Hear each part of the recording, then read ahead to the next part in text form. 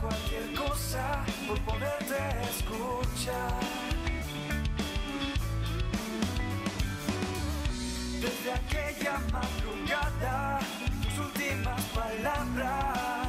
No, no, no, no. Venga, venga. Hoy es martes de propuesta musical y el día de hoy les voy a hablar de una banda llamada Efecto Doppler. Y para conocerlos un poco más, me voy a enlazar en este preciso momento hasta la ciudad de Cuenca, al sur de Ecuador, con Sven Muñoz y Cristian Guillén, los dos integrantes de la banda llamada Efecto Doppler. Mis estimados, ¿cómo están? Muy buenos días. Saludos. Hola, ¿qué tal? Muy buenos todos? días. Saludos de México. Nosotros somos el Efecto Doppler. Mi nombre es Sven Muñoz, soy el vocalista de la banda. Venimos a hablarles un poco de nuestra música aquí con Cristian Guillén, el guitarrista principal. Con mucho gusto de estar aquí. Muchas gracias.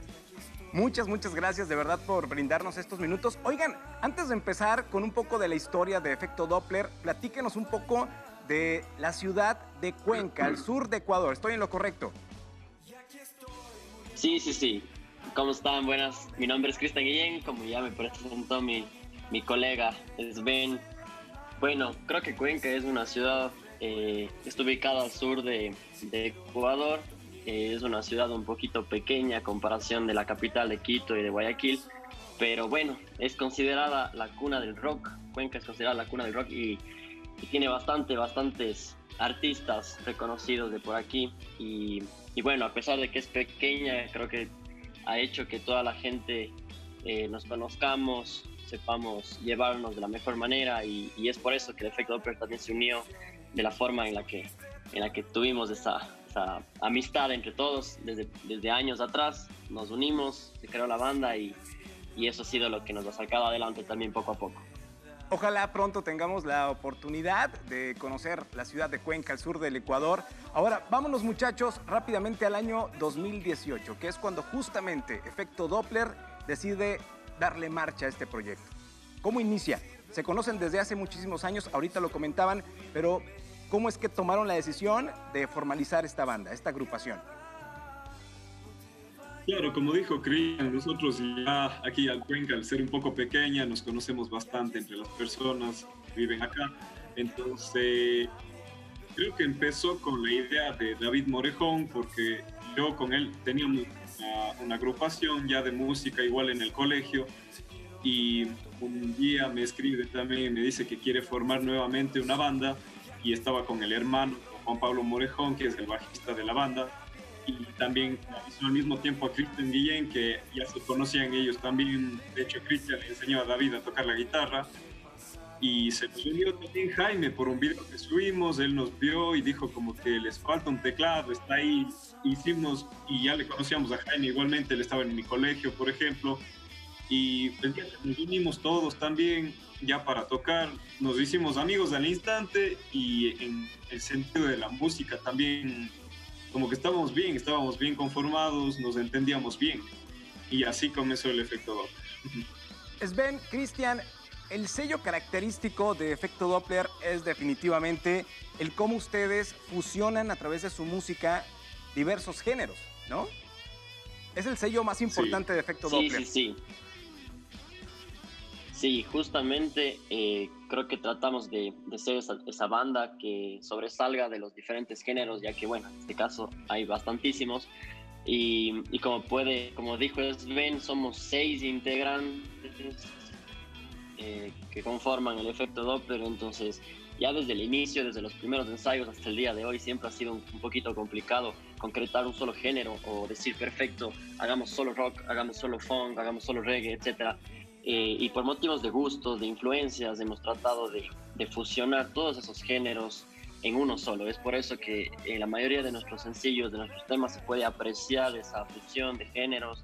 Es eh, obviamente preferente que todos teníamos era el rock, que siempre está ahí, se puede apreciar en todos nuestros sencillos, pero de acuerdo a gustos, como dije anteriormente, creo que nos basamos en eso, en esa fusión, en tratar de, de que la gente interprete los, los, los distintos géneros en un, en un, solo sencillo. Así es. Y la música pues les ha permitido eh, estar en distintas partes importantes de la ciudad de Cuenca, en, en una gran cantidad de eventos privados. ¿Hay alguna banda o algunas bandas que sean inspiración para ustedes, muchachos? Eh, sí, bueno, nosotros, como dijo Cristian, hemos sido bastante influenciados por el rock, por punk, reggae, pop, bueno, una mezcla de todos, pero creo que en la banda que coincidimos todos, que nos gustó así desde un principio, era Pink Floyd. Igualmente, nos gusta de Red Hot Chili Peppers, entre otros, igual, más o menos de un estilo parecido, así, rockero. Perfecto. Y muchachos, me imagino que están muy emocionados porque hoy están presentando a todo el mundo su más reciente sencillo que se titula No te vayas. Sí. Claro, sí, Sí, eso sí, sí, queríamos presentarles a, a todos, estamos con mucha emoción de poder mostrarles. Justo esta canción es más o menos una mezcla también entre rock, un poco de pop, es algo nuevo, es algo un poco diferente a lo que se suele escuchar también hoy en día y estamos emocionados sí, por presentar esta canción, esperando que les guste también a todos. Oigan, platíquenos, estamos viendo en este momento ahí en la pantalla eh, su video, platíquenos un poco de la realización y demás. ¿Dónde, lo, ¿Dónde fueron las grabaciones? ¿Quiénes participan? Bueno, creo que el video de No te vayas eh, nace con la trama de que en sí la letra que escribió Jaime, por cierto, nuestro tecladista y corista, eh, él la escribió y hace referencia a una decadencia amorosa que tuvo él, es una experiencia personal, y la fue Hola. escribiendo a lo largo de los años, él comentaba, y, y la terminó unos meses antes de la pandemia.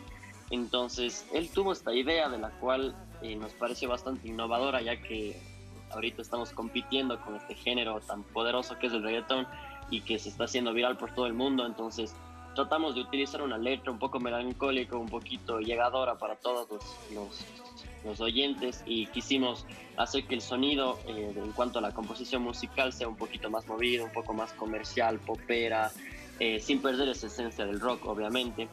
Eh, también, eh, entonces, al momento que nos ya fusionamos esta, esta letra con esta melodía, eh, quisimos ya hacerlo bien todo, entonces quisimos hacer un video oficial, el cual, se, eh, como se puede apreciar, eh, hay varios escenarios.